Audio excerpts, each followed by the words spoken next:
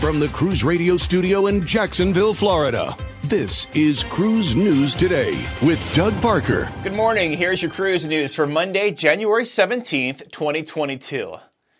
Three more Carnival Cruise Line ships have dropped Key West for January and February. Key West port calls on Carnival Conquest, Dream, and Sunrise were dropped as docking discussions continue with the island. The vessels will either skip the port for a sea day or visit Cozumel, Mexico instead. Cruise lines continue to be in talks with Key West about calling to the port.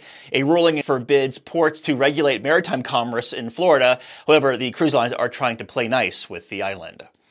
And as we reported over the weekend, the CDC let the conditional sailing order expire on Saturday, moving the CSO to voluntary status. But they weren't the only federal agency that weighed in on the cruise industry. Federal Maritime Commissioner Louis Sola released his final report after a two year fact finding study regarding the financial, job, and tourism hit the pandemic had on the cruise industry. They, they released details about the, you know, how vital the economic engine that the cruise industry uh, is. The commissioner uh, said that the ports and the cruise lines have aggressively pursued creating the standards and infrastructure that allow ships to sail and be prepared to manage any health contingency that manifests. Stewart Chiron there from cruiseguy.com. The industry shutdown impacted 436,000 North American jobs and in the first year caused an economic loss of $39 billion.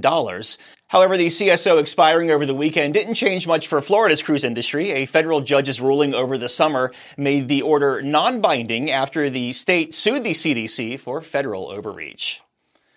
And if you want to cruise from Spain, you'll need to get a booster shot that includes cruises from Barcelona.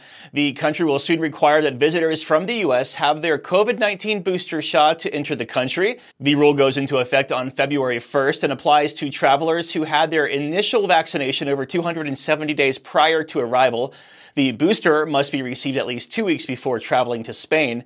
Other countries that are also requiring the booster include the Netherlands as of February 1st, as well as Austria. And cruise line stocks were flat on Friday. Carnival Corporation 22.94, Royal Caribbean 84.19, and Norwegian 22.93.